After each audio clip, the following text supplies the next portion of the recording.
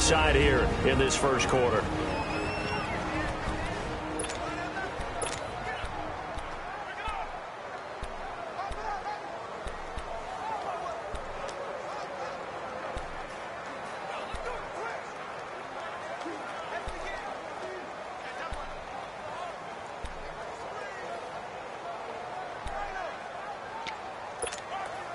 A first opportunity for the Steelers in the red zone. They've got a first and 10 at the 17. Let's go. He'll look to throw. Flushed out right. And he's in. Touchdown, Steelers. Dallas Goedert, his fourth touchdown on the year. And the Steelers take the ball down the field and score on their opening drive.